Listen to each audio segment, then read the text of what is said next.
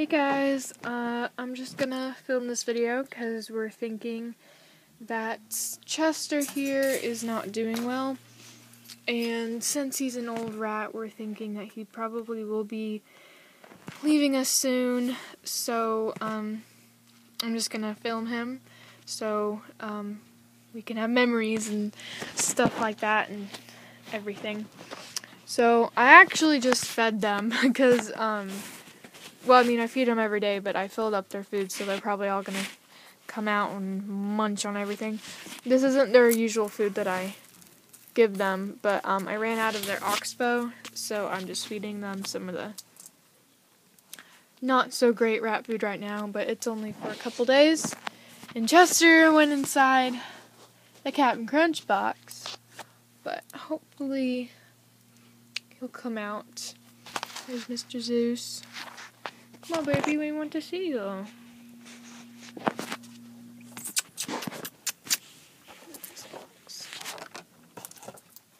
Come here. Not you, Zeus.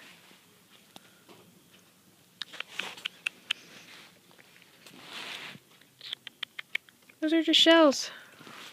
Come here.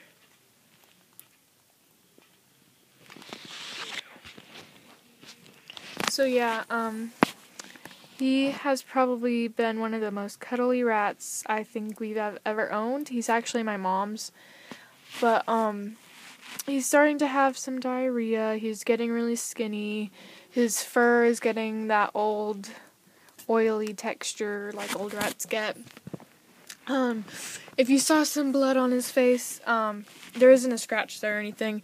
He also, we're thinking he probably has, um, we went to the vet and they said that he probably has cancer right where, um, his, uh, uterus is. And so, um, uh, he sometimes pees blood and it's not fun. And so, um, he sleeps with his head under, tucked underneath him.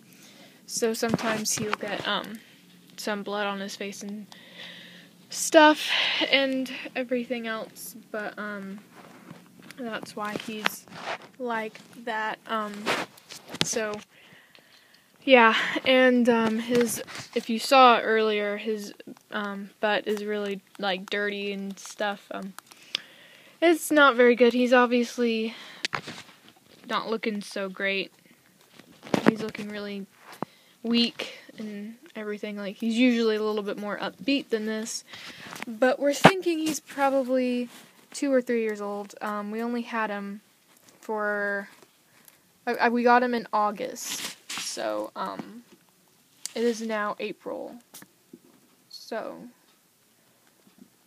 yeah, however many months that is, I'm not gonna. um. So yeah, but like I mean, he will like fall asleep to your touch if he will let you. He's one of the most cuddly rats, and he's just a great, awesome pet. So yeah, um, you know, we hope that this is just gonna be a little thing that's gonna happen right now that he'll get better, but um, you know, we'll never know. And it'll be very sad when he does go eventually, whenever he does, but know, we'll carry on. So yeah, thank you for taking your time and watching this video. Thank you.